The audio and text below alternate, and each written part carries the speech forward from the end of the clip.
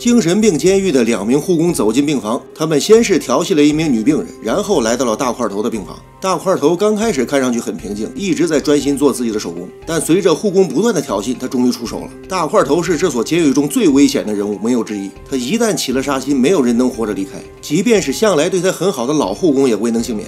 今儿跟大伙聊一部美国的恐怖片《新万圣节》。男主从小生活在一个不幸的家庭，老妈在夜总会跳舞维持生计，继父是一个不务正业的小混混，姐姐就是一个小太妹。在这种环境里生活，男主的性格变得是越来越扭曲了。他唯一喜欢的就是自己那个还在婴儿车里的妹妹。男主在学校里也是个受气包，整天被一些混小子欺负。校长把男主的老妈请到学校，向其展示了男主虐待小动物的照片，并请来了儿童心理学家王教授。王教授说，像男主这种情况，如果不及时干预，今后很可能会出大事。放学之后，男主尾随着揍过他的混小子来到一僻静处，然后突然袭击，把混小子给胖揍了一顿。万圣节的晚上，男主和继父一起看电视的时候，继父把他从头到脚数落了一通，不仅侮辱了他的人格，还鞭笞了他的自尊。加上姐姐言而无信，只顾着跟男朋友亲热，根本不陪他出去要糖果，这导致男主彻底爆发了。虽然他只有十岁，但动起手来绝不含糊，嘁里咔嚓把继父和姐姐以及姐姐的男朋友全给杀了。男主的老妈下班回到家，看到男主抱着妹妹坐在家门口，一副若无其事的样子。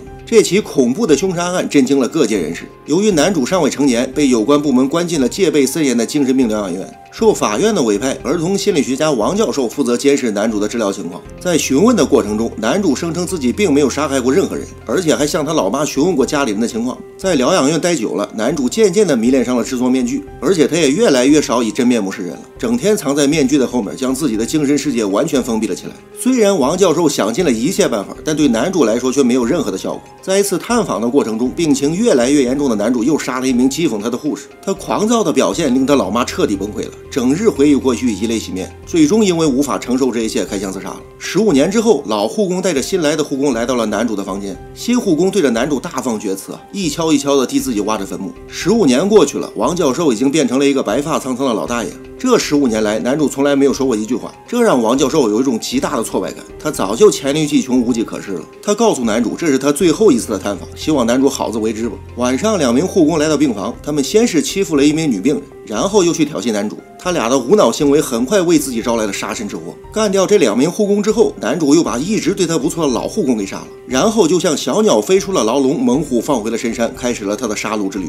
睡得迷迷糊糊的王教授半夜接到了警察的电话，老爷子一听男主跑了，吓得浑身就是一激灵。卡车司机正在卫生间上大号，这时门外响起了很不友好的敲门声。卡车司机拔出匕首打开门，看到戴着面具的男主正站在门口呢。双方的战斗力显然不在一个层级上。男主最终获得了卡车司机的全套装备。他回到昔日的家里，从地板下面取出了当年杀人时用的那把餐刀和那个看上去就瘆人的面具。女主虽然生活在一个幸福的家庭，但她这个年龄正是叛逆的时候，居然把她老爸交给她的信件塞进了男主家的门缝。由于发生过恐怖的命案，男主家现在已经成为了家喻户晓的凶宅了。下午放学，女主和两个好朋友走在回家的路上，这时候她无意中发现路对面的男主正死死地盯着她。和同学分开之后，女主总觉得背后冷飕飕。男主倒是很沉得住气，在后面不急不躁、不远不近地尾随着。又是一年一度的万圣节，女主的闺蜜和男朋友来到男主家废弃的宅子幽会。对男主来说，这可是他从小生活的地方，岂容他人亵渎？他首先很轻松地干掉了闺蜜的男朋友，然后又掐死了女主的闺蜜。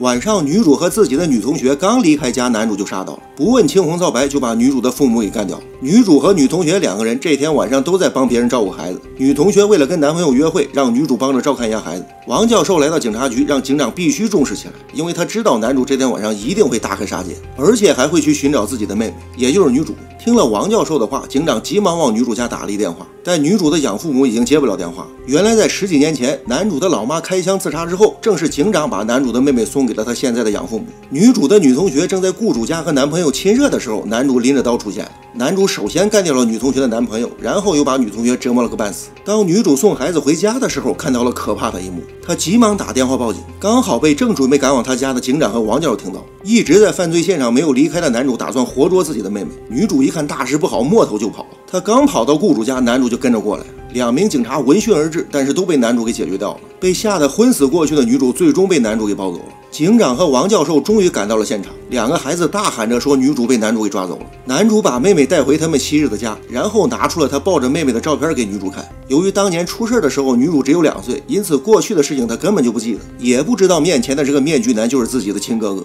男主取下面具，露出了真面目，希望妹妹能回忆起过去的事情。但女主完全没有理解，上去就给了男主一刀，然后开始想尽一切办法往外跑。可由于慌不择路，最终被男主堵在了游泳池里。就在这关键的时候，王教授及时出现了。看着男主一步步逼近女主，王教授迫于无奈只好开枪了。不过，类似这种变态杀手似乎都有着顽强的生命力。王教授本以为这一切都结束了，可没想到身中数弹还没有死的男主又杀了回来。趁着男主收拾王教授的时候，女主再次展开了自救。她躲进犄角旮旯，等待着警察的到来。可最终还是被男主给发现了，兄妹俩一起从楼上掉了下去。女主用枪里的最后一颗子弹把男主给毙了。看完这整部影片，我们还是来首唐诗压压惊吧。要想孩子走正道，家庭环境很重要。鸡犬不惊整天吵，脾气肯定很暴躁。